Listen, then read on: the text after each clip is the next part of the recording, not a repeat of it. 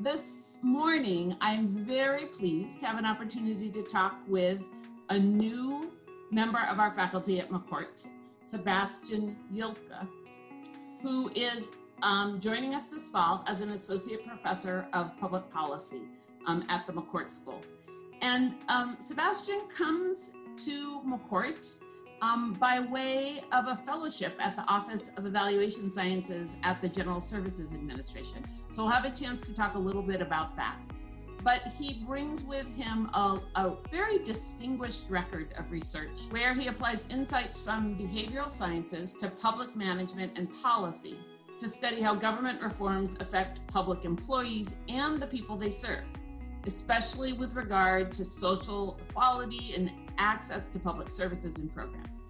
Sebastian also works with public organizations in the US and internationally to design and apply behavioral interventions to improve government um, effectiveness across domains. He has received the Beryl Radin Award for Best Article published in the Journal of Public Administration Research and Theory, which is an award close to our heart given Professor Radin's um, long association with the McCourt School. He is also co-editor of Experiments in Public Management Research, Challenges and Contributions that was recently published by Cambridge University Press, and a founding editor of the Journal of Behavioral Public Administration, a not-for-profit open access journal.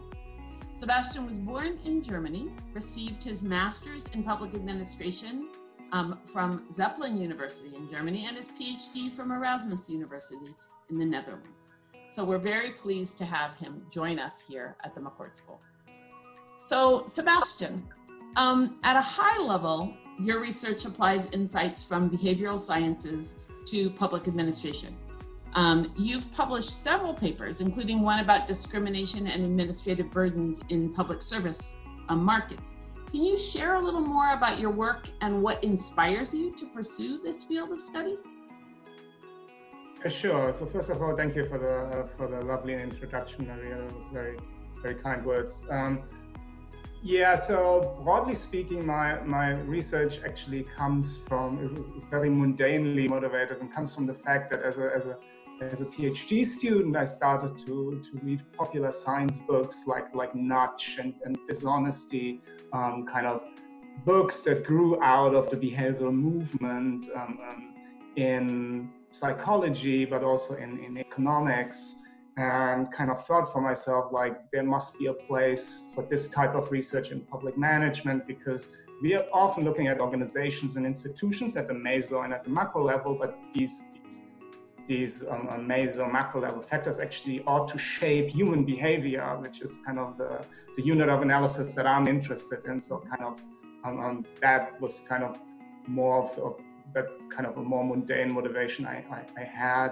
Um, the study you talked about um, on, on, on, discrimination, social service, um, the story behind that study is actually my wife um, used to help immigrants in Germany kind of to reintegrate. So my wife is, is born Ethiopian, speaks obviously the, the, native language, which is Amharic, and she worked with one um, lady and they went together to a kindergarten. And in that kindergarten, they told her very bluntly that they are required to take her in, but they don't want to because she doesn't speak the language and she would always require a translator, right? And that led me to go back to the classical um, um, writings of, of Lipsky on street level bureaucracy and, and the notion of cream skimming and um, having, having read um, famous audit studies on, on where you send out CVs, where you randomly vary the sender that signals the race or ethnicity of, of the sender of the CV and how that affects callback rates for jobs. I kind of thought of a way to apply that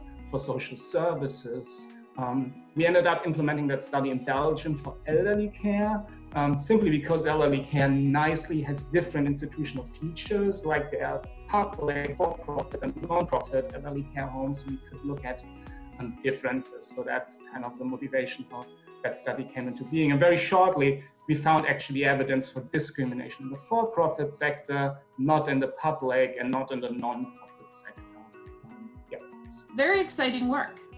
Um, and it also, I think, is work that would be of great interest to our students and have lots of implications to our students. So it brings me to kind of this question of, you know, in this world that we have, in the world that we're living in right now, where there are so many challenges and where government and the nonprofit and for profit sector are being asked to kind of innovate and pivot and respond to kind of un, all these unexpected um, issues. And we're challenged at McCourt to really train, provide future leaders with the kind of rigorous training and ethical grounding that they need to go out and make the world a better place. What makes you, you know, both excited or, or feel challenged? Um, how do you think about how your experience, your research will inform what you're going to teach our students? In a recent kind of situation of stress and, and anxiety, yep. Yep. Yep. it is it is it is kind of probably human nature to jump to try to do something. But I think kind of um, um, training students to take a step back for a second, use analytical skills um, to really come at good conclusions where they are and go beyond one discipline or one field.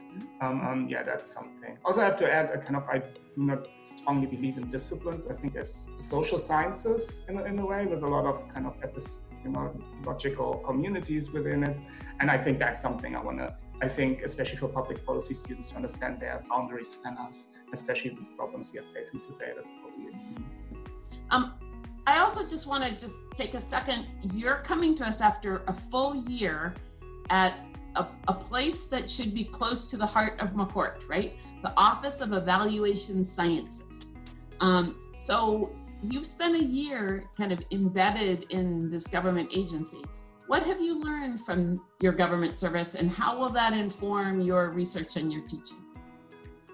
Yeah, thank you. That's a good question. Just just for everybody who doesn't know the OES, so OES is a team of behavioral scientists who runs applied behavioral trials within government. They grew out of the, the White House social and behavioral science team and have done more than 70 trials to date. It's kind of the US nudge unit, um, so to speak. And yeah, what I think like I've, I've learned more general lessons. I've, I've learned also very practical skills, but I just mean I've learned more general lessons there. And kind of the one thing that struck for me is how deep. So in, in public management, there is that concept that is also kind of used by labor economists of public service motivation. And I always had, to, to my own shame, a rather cynical view of it. I thought it's kind of that, it's, it's, it's a rather academic concept, but I, I thought kind of um, rational choice type explanation are much stronger in explaining why people work for government.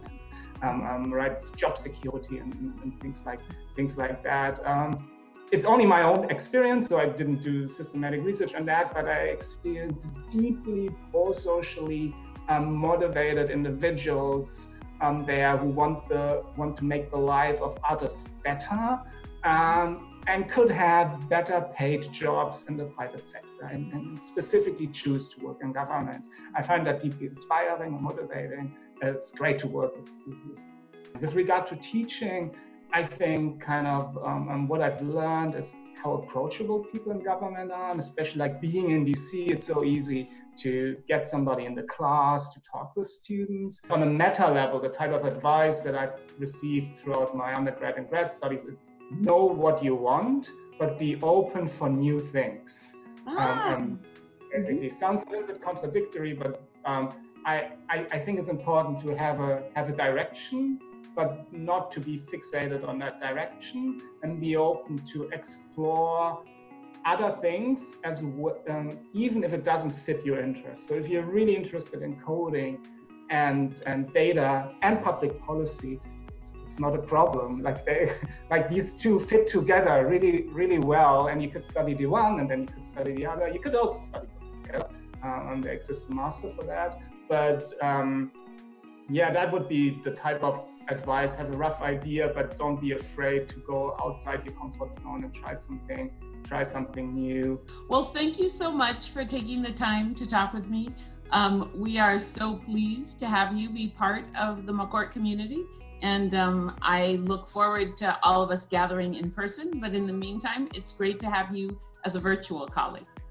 Yeah, thank, thank you, Mary. I'm, I'm thrilled as well to join, and thanks for, for that lovely interview. Really appreciate it. Good.